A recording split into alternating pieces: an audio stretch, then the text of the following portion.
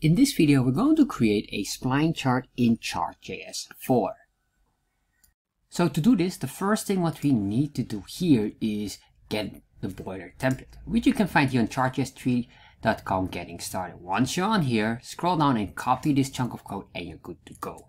If you want to get the source code of this video and many others, check out my Patreon page. And of course, got a question, put it on Discord.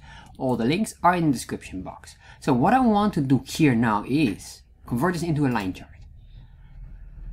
So we go down here, say line, and then if we save this, refresh, you can see here now we get a basic line chart here, but we want to convert it into a spline chart, which basically means a curved line.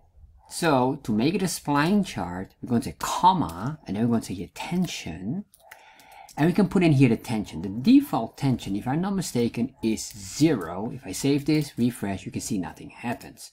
If I put it into a more nicer curve or arc, we can say here 0.4 and as you can see here that works more better we can increase this even by making it more elastic or even weaker tension on the elastic and as you can see here it starts to give a very weird shape. You can go very extreme by one you can see this doesn't make sense at all. However somewhere between 0.4 and 0.3 would probably be the best value and that's how you create a spline chart